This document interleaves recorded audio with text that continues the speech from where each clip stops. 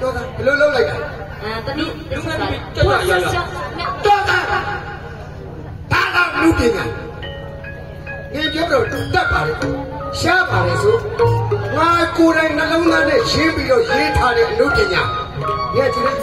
ခုတော့တခါတည်းငါသက်ခုံပေါ်လာပြီးတော့ရေးထားပါလေလို့တာပြီးတော့စီရလေဟိုကိစ္စဆိုရင်ကြိုက်တယ်ပါ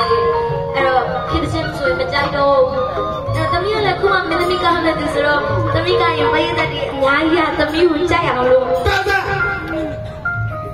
ငါဖန်ပြီးထားတဲ့အမှုပညာနှလုံးသားနဲ့ရေးထားတဲ့အမှုပညာကိုလွမ်းရမဲ့တခြင်းကိုမြင်ရင်ခုတော့ဒီဇက်ခုံပေါ်လာပြီးတော့စပ်ပြတဲ့လိန်ကြသလိုငါရဲ့အမှုပညာကိုချက်စီရလားချက်စီရလား